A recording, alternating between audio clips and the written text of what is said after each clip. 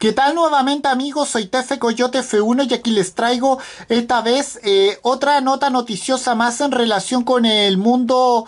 eh, automovilístico y bueno, ahora les voy a hablar de una antigua eh, compañía automotriz llamada Bonwall, porque como sabemos Bonwall resucita para volver a construir sus máquinas de Fórmula 1 de los años 1950. Bueno, como sabemos, esta clásica compañía automotriz británica renace como una, una firma que va a crear seis, eh, seis nuevas máquinas monoplaza como los que como los que lo llevaron a ser campeones mundiales en la Fórmula 1 en la temporada 1958 y bueno, hablemos un poco de aquello. Bueno, bueno, ahora que la máxima competición mundial del automovilismo, o sea la Fórmula 1, está celebrando 70 eh, años de existencia, sí, es interesante recordar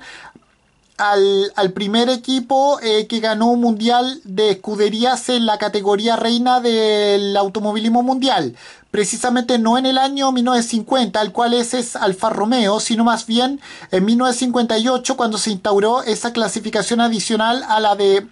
a la de competidores que, que servía para reconocer también a los mejores conjuntos. Precisamente no fueron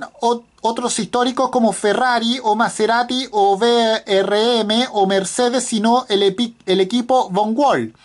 Bueno, como sabemos, uno de esos garagistas ingleses que consiguió triunfar en aquella temporada con sus VW5 eh, y los competidores eh, británicos eh, Lee Moss, que quien falleció este 2020, Tony Brooks y Stuart Louis Evans al, a los mandos de, esta, de, de, estas máquinas. Bueno, ahora unas cuantas, de, unas cuantas décadas después, el nombre Von Wall eh, está de regreso y lo hace en forma de la compañía Von Wall Group que se va a encargar de traer a a los tiempos de hoy en día su clásica máquina campeona mundial de Fórmula 1 para ofrecerlo a los bolsillos más adinerados. Bueno, en total, eh, Von Wall eh, va a construir un total de seis nuevas máquinas en un formato bastante similar a los de otras eh, compañías automotrices británicas como Bentley o Aston Martin. Recordemos que Aston Martin el próximo año volverá a la Fórmula 1 como como equipo propio después de haber competido en la máxima categoría con muy pocas carreras en muy pocos grandes premios eh, a fines de la década de los 50 y bueno, los cuales se están impulsando con sus modelos Continuation. Para cada uno se, va, eh, se van a emplear eh, millones de horas, miles de horas en trabajo y se va a contar